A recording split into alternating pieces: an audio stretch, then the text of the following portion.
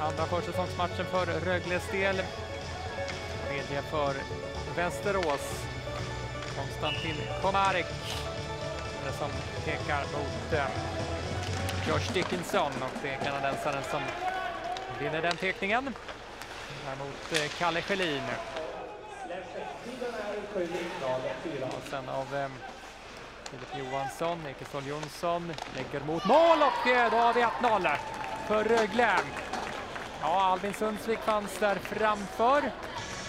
Ja, om han inte styrde så skymde han i alla fall bra. Jag tror att det var en touch från honom, Albin Sundsvik.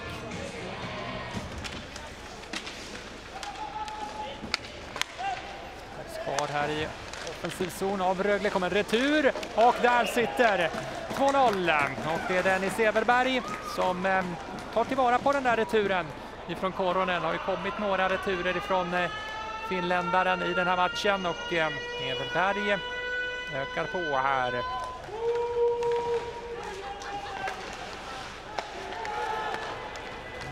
Se här åt andra hållet i numerärt underläge. Oh, här sitter 3-0. Numerärt underläge. Och eh, det är eh, Linus Sjödin som hittar rätt.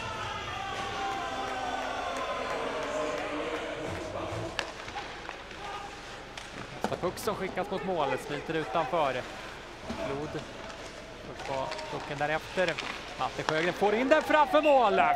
Och där är det reducerat och det är Kvist. Oskar Kvist. Där de ligger på um, riktigt bra den här perioden.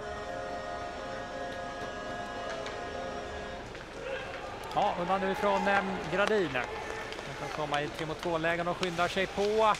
Ja, det är jätteläge! Vilken möjlighet som dyker upp för Säter. Ja, öppnar sig lite för eh, Kvist som verkligen har eh, tagit för sig den här eh, andra perioden.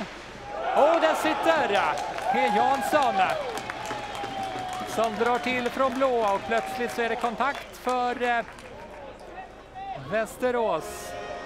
Ja, efter 3-0 för Rögle. Två raka mål för Västerås och Jimmy Jansson. Senaste målskytten. Sista chans kan hinnas med. Pucken går utanför och Everberg kan eh, knacka undan den och då är matchen över. Rögle håller undan, vinner med 3-2.